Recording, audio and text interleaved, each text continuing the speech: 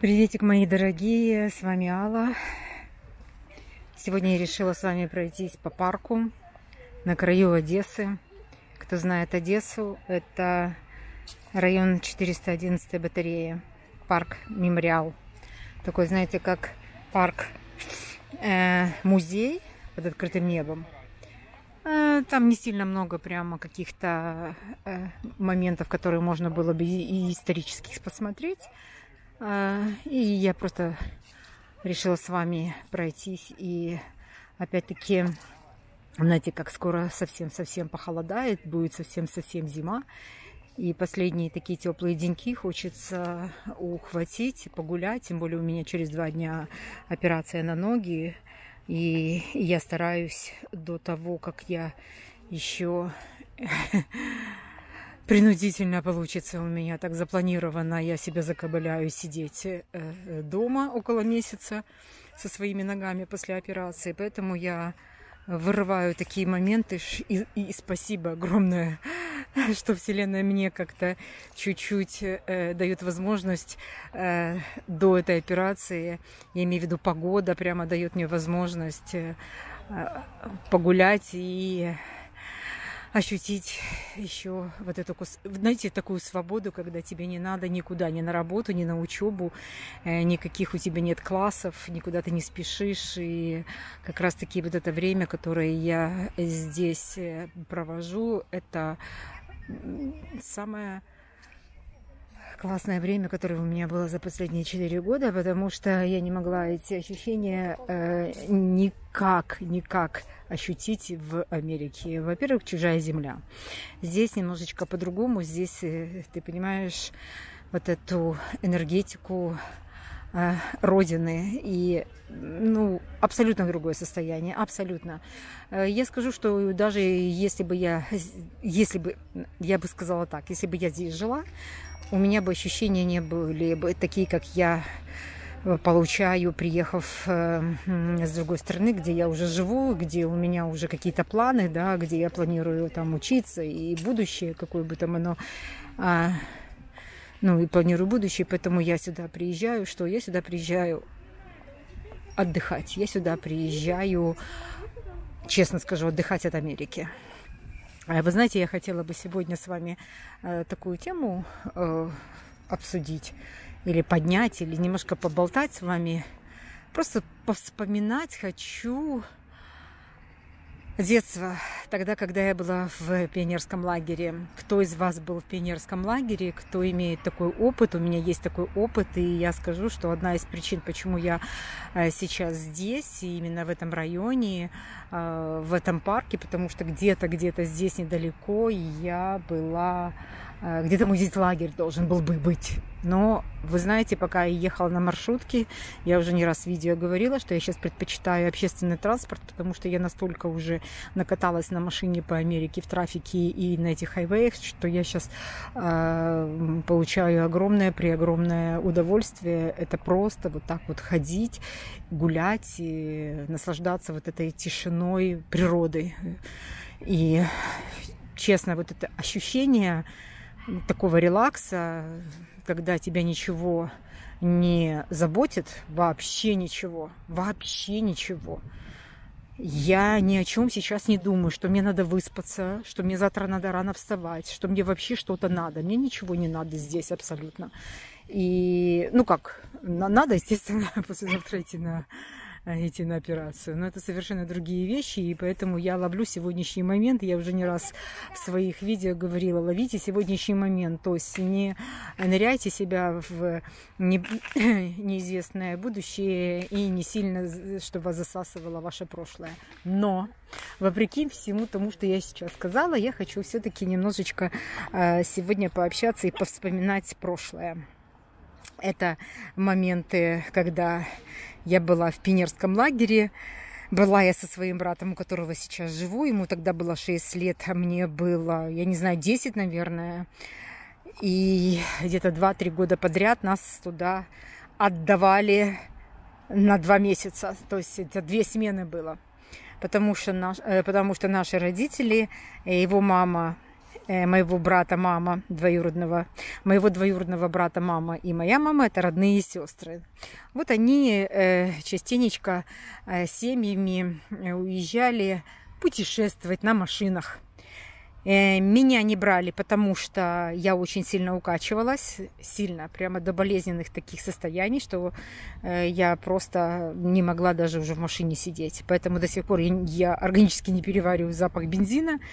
Э, ну и сейчас, как ни странно, я не укачиваюсь, когда я за рулем. Если я сижу сзади, то в зависимости от того, от водителя, как он будет ездить, насколько он будет тормозить, мне не надо, чтобы было в машине жарко. В общем, чуть-чуть все равно присутствует вот это у меня состояние укачивания. Так вот, вот по этой причине меня не брали, а Сергея, моего двоюродного брата, не брали, потому что, чтобы я одна не была.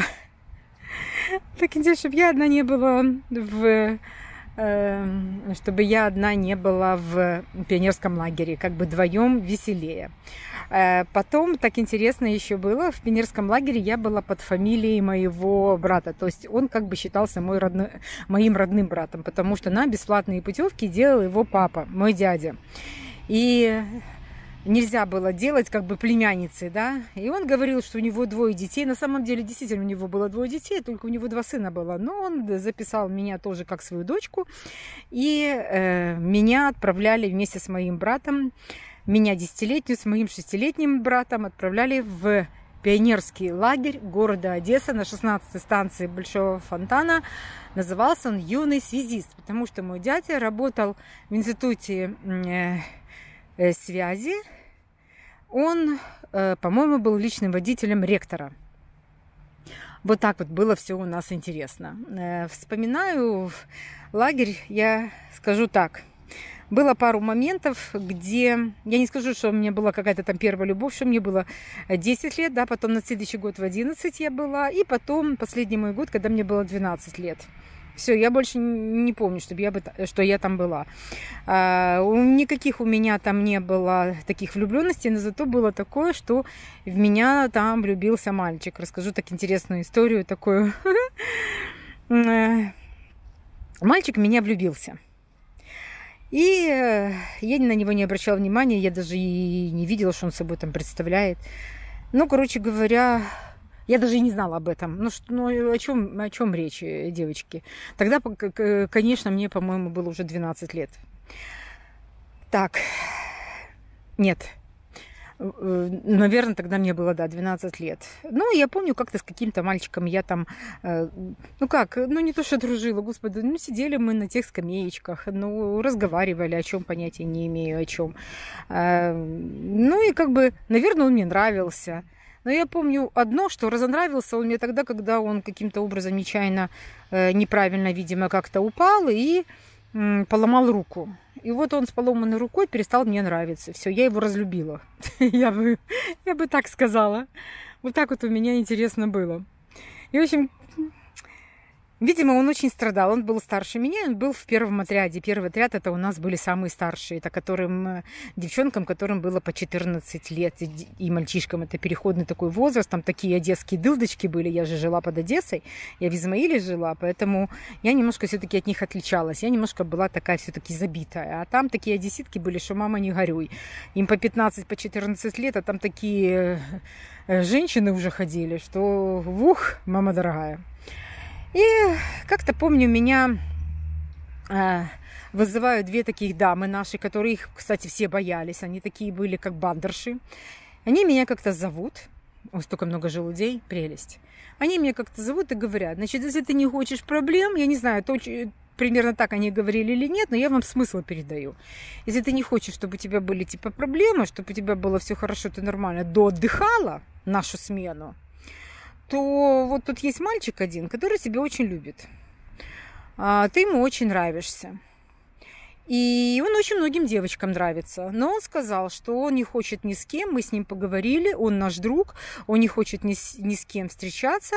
Он сказал, что он любит тебя. Вот ты ему нравишься и все. Он страдает, он не кушает, потому что ты перестала с ним общаться, ты перестала с ним встречаться. Э, а он э, находится сейчас в изоляторе. Помните, вот эти медпункты у нас назывались они изоляторы, если ты находишься там, заболел или еще что-то. Значит так, если ты к нему не пойдешь, то у тебя будут очень проблемы. Конечно, я испугалась. Подходит мне 11-12-летние девочки и 15-летние такие дылдочки. Я же еще забитый такой ребеночек была. Это сейчас я уже такая матерая тетка стала.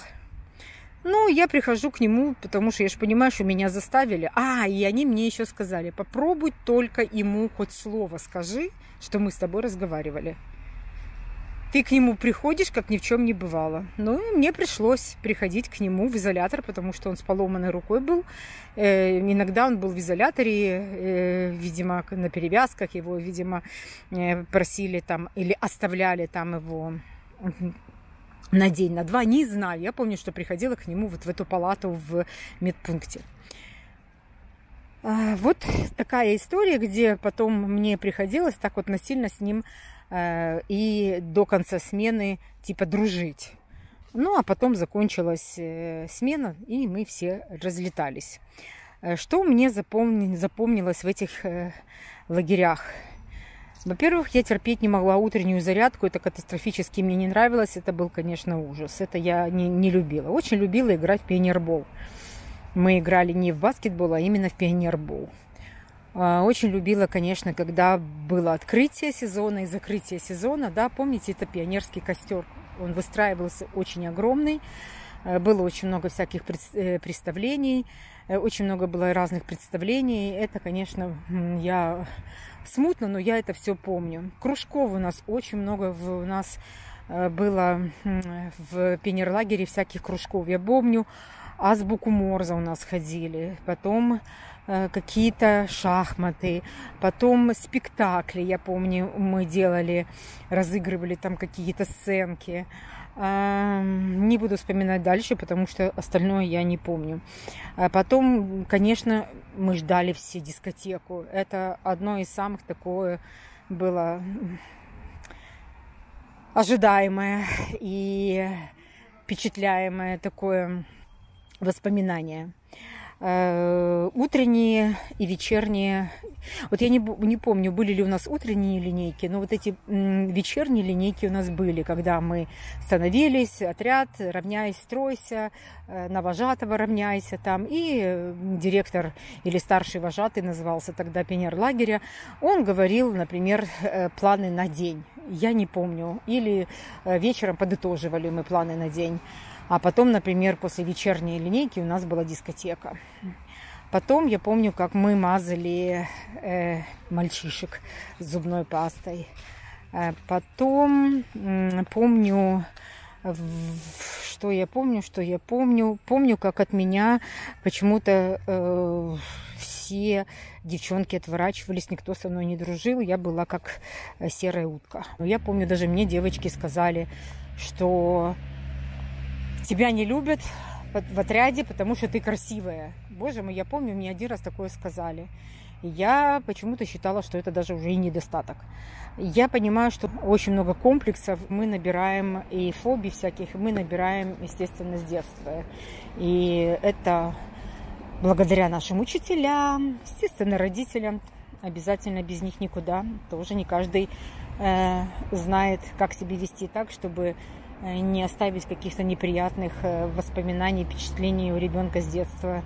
И нас не учат быть родителями, нас не учат быть бабушками.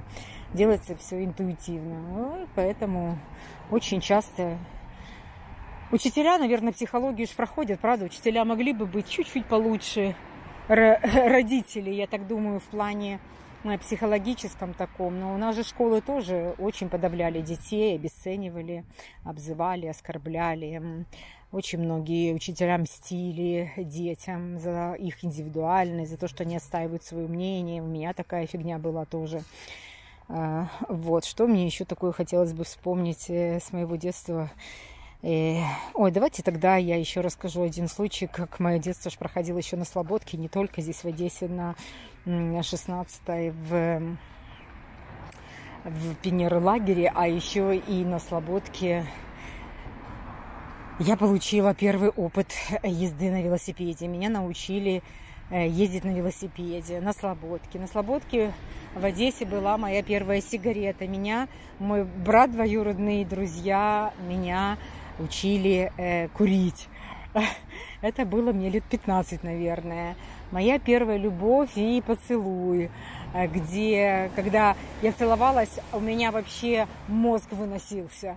У меня в голове до такой степени кружилось, что я не понимала, на каком свете я нахожусь. Э, потом от этих впечатлений, я помню, не могла отойти э, от этих ощущений очень долго просто от поцелуев, можете представить. Хотя больше, на, на больше мы и настолько все было без, э, настолько невинно все это были. Наши отношения вот эти между мальчиком и девочкой были абсолютно невинные. И я же говорю, этот поцелуй потом в голове обмусоливался, наверное, у меня год. Очень я была влюблена в этого мальчика.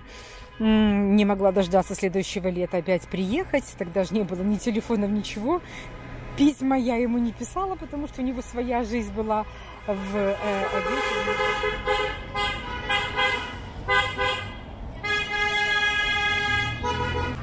Выборы скоро, и люди сходят с ума. Все, все рвутся до власти. Не знаю, каким макаром уже туда лезть. Знаете, как во все щели лезут. Не дают покоя ни себе на выходные, ни людям. Э, так вот, что еще? А, да, я, я помню, как мы на Слободке когда дядя и тетя мои спали, например, у нас двухэтажный, двухэтажный дом у них, ну, сейчас Сережа уже в этом доме живет, они там спали, тетя с дядя спит, мы ночью со всей своей моголой. Что мы делали? Мы где-то там дяди воровали самогон, и я даже не знаю, по-моему, я, я брала, потому что Сережа боялся, все-таки это его родители, я такая была более шустрая. Мне как бы, это же не мои родители. Я, помню, брала э, маленькую бутылочку самогона и приносила мальчишкам, и они э, выпивали там, я не знаю, по рюмочке, больше нет, потому что мы боялись всего этого. Это так все было э, по-взрослому, типа мы такие взрослые. Потом, я помню, мы спускались Потом, я помню, мы спускались на первый этаж, тихонечко, тихонечко э, на первый этаж спускались, заходили в комнату, мы там закрывались. Что мы там делали? Мы играли в карты. Мы всю ночь играли в карты. Это, это для нас было что-то такое феерическое, вы понимаете, прийти ночью в дом, залезть э, как бы в комнату, все тихо рядом, не знаю, человек 5, 6, 7 нас было.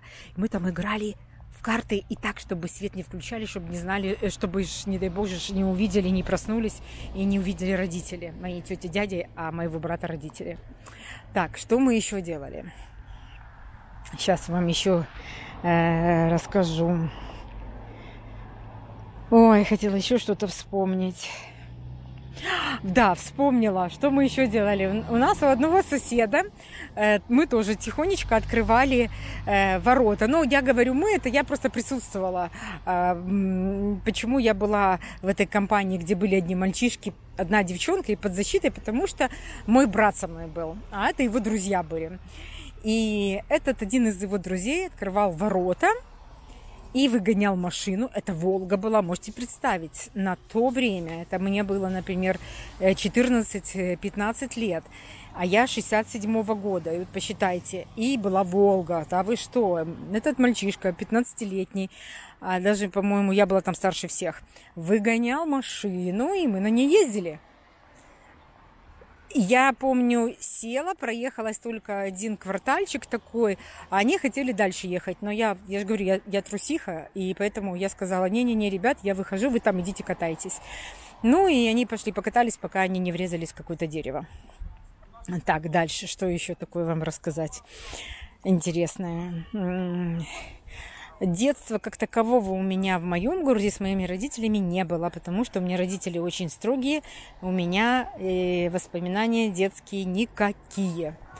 Э, Поднимание моей мамы, что у меня счастливое детство, абсолютно не соответствует с моим пониманием моего детства. Поэтому все было в строгости, все было в в жестких таких э, рамках меня держали. Ну, скажу так, что воспоминания у меня больше, конечно, это когда я проводила детство с братом. Поэтому мы с ним очень близки. Поэтому нас очень э, э все это тянет друг к другу. Потому что мы выросли вместе. Э, ну и, естественно, мы э, достаточно одинаково смотрим на жизнь. Это нас очень друг другу тянет. Мы ответственные, мы трудоголики, мы на одной волне. И вот эти вещи, как бы у нас помимо такой кровной связи, естественно, есть уважение друг к другу. И я там к нему прислушаюсь, он ко мне прислушается. Мы не позволяем хамить, например, там как-то выяснять что-то, что-то там высказывать. Я, например, живу у него сейчас три э, месяца, да, и, естественно, он хозяин дома, и, естественно, надо уважать его порядки и, и вообще его как хозяина э, не, как говорится, перегибать палку и не пользоваться тем, что ты сестра, и тебе все дозволено, и все можно, и э, делать, что хочешь, как в своем собственном доме. Нет, я, я понимаю, на какой я территории, и стараюсь конечно, чтобы не было дискомфортно, и так, чтобы их режим, который у них есть, он э, относительно не нарушался. У меня отдельная комната есть, я э, сама себе предназначена, вот, и Э, ну что, у них отдельная комната, очень большой дом, и у нас достаточно площади для нас троих, да, для двоих котов и еще для пуделя. Вот. Что такое вам еще? Ну, вот так. Э, немножко рассказала я про детство. Если немножко так вот, чтобы сравнили вы мое детство с родителями, да, то это было так. Э, гулять меня не всегда выпускали. Я старалась гулять э, если меня уже выпустили, как собачонку гулять, то я гуляла до последнего, домой не заходила, какая бы я ни была голодная. А голодная ты гуляешь всегда, потому что, знаете, как на свежем воздухе бегаешь, прыгаешь, время проходит быстро, и через э, там 3-4 часа ты э, уже хочешь кушать, но никогда в жизни не пойдешь домой, потому что если ты придешь домой кушать, то тебя оставят. А так мама вроде как за тебя не вспоминает. Конечно, любили мы играть и в казака-разбойника, любили играть в резиночки, в городки, бомбинтон. Помню, очень любили играть э, продавца мороженого, когда мы брали песок где-то, заливали его водой, чтобы это было шоколадное мороженое, чтобы его можно было как бы в стаканчике так э, с э, этой лопаточкой, знаете, как находили мы какие-то такие стаканчики, как колпачки от лака для волос, знаете, вот такое. Я не знаю, где мы это все находили, но у нас были весы, ставили мы кирпичи, деревяшку находили, у нас гири были, тоже куски кирпича. И вот так вот мы играли, продавали овощи, буряк, картошку, вот такое все придумывали. Потом у нас в то время еще, я помню, были очень много было таких э, животных, как хомячки. И очень у многих у нас были хомячки. Вот так мы трехлитровые бутли брали этих хомячков и выпускали их на травку. Было очень жалко, когда у кого-то хомячок э, убегал, мы даже его уже не могли найти. Когда еще трава высокая, это еще можно как-то уловить. А когда э, травка была мелкая, вы знаете, было очень жалко. Хомяки были у нас красивые. Были и розовенькие, были беленькие, были черненькие, э, пушистенькие, мохнатенькие. Это, конечно, была вообще прелесть. Потом уже у меня хомяки были тогда, когда у меня дети были маленькие. Хомячат было столько, что мама дорогая. Э, я же говорю, у меня было даже такое, один раз было 20 с лишним хомячат, и прямо руками их брала, высыпала их в банку, и мой сын отдавал в зоомагазин на продажу маленьких таких. И я говорю, на остальные деньги ну, купи себе э, что хочешь. Мандарин купи. Я, я не знаю, почему это мандарина. И он привез, э, принес где-то, не знаю, 3-4 килограмма мандарин, по-моему. Вот. Вот смотрите, вот я не знаю, как мне здесь перейти дорогу, чтобы не попасть под машину. А вот, вот же переход.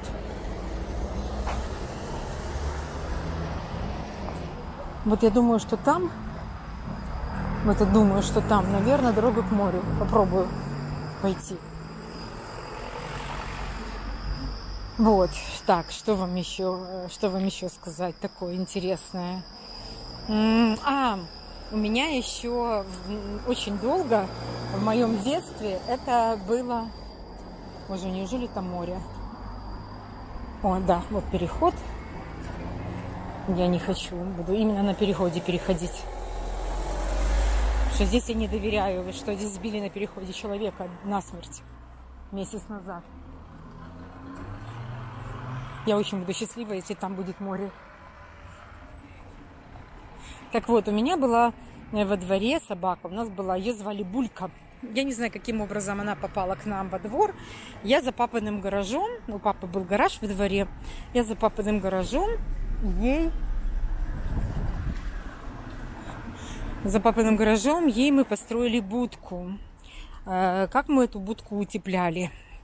Мы воровали коврики. Помните, было такое, когда, э, да и сейчас есть в, в Украине везде возле домов коврички такие вытирать ножки. И эти коврики были как кусочек, э, например, коврика старого, какие-то старые штаны, какие-то старые, старые спортивные кофты. Их так вот сворачивали и ставили э, возле э, двери. Ты вытираешь ножки и заходишь. Короче, мы ночью приходили в... Э, заходили, вернее, в подъезд, поднимались на самый верхний этаж. Мы почему-то воровали коврики с верхних этажей. Но днем мы ходили еще и проверяли эти коврики, как где хорошие, чтобы теплые были. В общем, таким вот образом мы обустраивали э, будку нашей собаки. Потом э, были такие именно не тряпки, а были даже куски ковриков. А куски ковриков мы специально брали, чтобы эти куски ковриков ложить сверху, как бы обложить со всех сторон – будку, чтобы она типа теплая была. Ну, ей, наверное, тепло было, но когда у нас она бедненькая беременела, то, к сожалению, к большому сожалению, я помню, как-то один раз я пришла, она уже была беременна, и мы знали, что она вот-вот должна родить. И, к большому сожалению, мы пришли как-то, а щенки все замерзли. Представляете, у нее там было 4 щенка и 4 щенка. Все замерзли. Я тогда еще помню, было 10 градусов мороза. Это она ночью родила, и они замерзли. Вы представляете? Это, конечно, было было очень горестно нам. Я помню, мы этих щенков э, надо же было вытащить, потому что она же за ними, типа, э, за, за ними как бы она ухаживает, хочет же, типа, их кормить, а они деревянные, замерзли. Ну и, в общем, я вам скажу так, сейчас опять перейду. Мы взяли этих щенков, она бежит за нами, мы выбросили их в мусор, в мусорный бак. А, вот. Ну, что дети тогда могут сделать? Что мы могли их как-то хранить, что ли? Еще, ну, 10 градусов мороза. И, и она, помню, возле этого мусорного бака, бедненькая, так долго туда ходила, так сидела, гавкала на него. Вот это я очень помню. Э, потом такая еще была интересная вещь. Мы боялись, чтобы нашу собаку не забрали э, собаченьки. Помните, туда машина такая собаченька въехала, э, ездила по утрам, они всегда ездили где-то по 6 утра, и, с утра и совком таким, как бабочек ловят, так собак ловили. Мы очень боялись, чтобы не забрали нашу бульку, поняли? Э, я помню, мы даже ездили к ветеринару, мы сделали ей паспорт. Если, например, ее заберут, то мы поедем э, вот в, в этот собачник и покажем паспорт и скажем, что вы забрали нашу собаку. А, потом мы на санках, помню, зимой на санках ее везли. А, потом э, для того, чтобы э, нагадить этим собаченькам, мы находили где-то гвозди и специально рассыпали гвозди, как въезжать в наш двор. А у нас такие хрущевки были. Ой, это такая прелесть. Мы такие э, придумывали схемы. Потом деревяшки такие э, брали и набивали эти гвозди, э, чтобы они пробили и не смогли потом выехать или еще. Ну, это, в общем, ну, комедия. Мы, ну, стратегия, стратегия. У нас были такие военные прямо действия там по защите, по защите животных. Поняли? Вот так вот. Так, что еще вам рассказать? Это то, что я вот вспоминаю сразу. Вот, я еще играла в детстве в такую игру э, учительницу. То есть я набирала макулатуру. Вы знаете, да, мы все собирали макулатуру. Металлолом я не помню, а макулатуру я собирала очень и очень. И, в общем, короче говоря, собирая макулатуру, я набирала очень много тетрадок. Было такие тетрадки, знаете, первые два листа э, были заполнены, а остальные листы чистые. Я вот таких тетрадок набирала огромное количество, брала какие-то там журналы, типа я учительница и в журналах э, все это заполнять. И потом, э, короче говоря, э, я, а, да, типа я, я диктую диктант, и я специально делала ошибки. Потом через время я их проверяла. То есть был у меня урок английского, ой, был у меня урок э, украинского, потом э, русского, потом, э, я не помню по поводу математики было или нет, но русский однозначно у меня был. Я помню, де, у меня было по 12, типа по 12 учеников.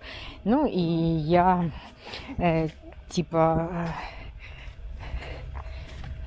да, и было у меня, например, три класса, знаете, как, и по 12 тетрадей я э, их собирала, потом я их проверяла, у меня была русская, э, красная паста, в общем, я боюсь, что я никуда не пойду и не пройду там, потому что, потому что не пройду. Сейчас посмотрим.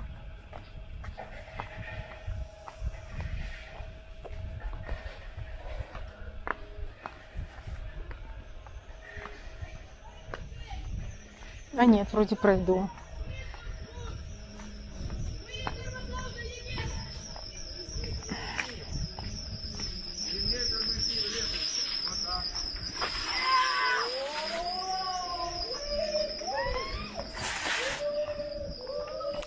Вот, так что учительницу еще играла, проверяла тетрадки, э, ставила оценки, ставила итоговые, как у нас были, помните, а, потом четвертные. Ну, в общем, все было, собрание родителей, как вспомню. Так, что еще? Очень много писем я писала, очень много, потому что э, тогда не было телефонов, смс мы никто никому ничего не писал было очень... Я писала, переписывалась с девочкой. Тоже, кстати, она жила недалеко от моего э, брата. Э, сейчас, как ни странно, мы не общаемся. Э, вот почему? Потому что я как-то пришла, ее как-то сильно, даже дружелюбно ее муж меня э, встретил. Сказал, ой, Алочка, привет, ППП, ПП. С тех пор все. С тех пор меня никто уже никуда домой не приглашает. Мне, честно говоря, ее муж срался аж 10 раз. Ну, окей. Вот я сейчас приближаюсь к морю, опять мы с вами у моря, потому что э, делать видео в Одессе и не быть на море, я вас не, уже не один раз сюда привожу. Это, это значит, не стопроцентное побывание на родине, именно в Одессе морской город, понимаете, на берегу моря. Как это не быть? Извините меня, на море находясь, особенно находясь три месяца. Вот. Это, конечно, дикий пляж. Здесь в основном строятся дачи, я так понимаю. Вот видите? А, вот, это дикий пляж такой. И я думаю, что я сейчас посижу на море и опять сделаю вам какое-то видео. Посмотрите, какая прелесть. Смотрите, какая прелесть, видите? Сюда приходить загорать навряд ли. Ну а так оставить машину и провести какое-то время на берегу моря, где мало людей, это, конечно, прелесть. Сразу вам скажу, что здесь отвратительный берег, потому что здесь камни. Мы приходили на вот эту 16-ю станцию фонтана, мы приходили сюда жарить мидии. А, ловили здесь мидии, да, отрывали их от камней, и потом их разводили костер и жарили. Они так раз и, эти, и открывались. А, ну, вот так вот приятненько и классненько.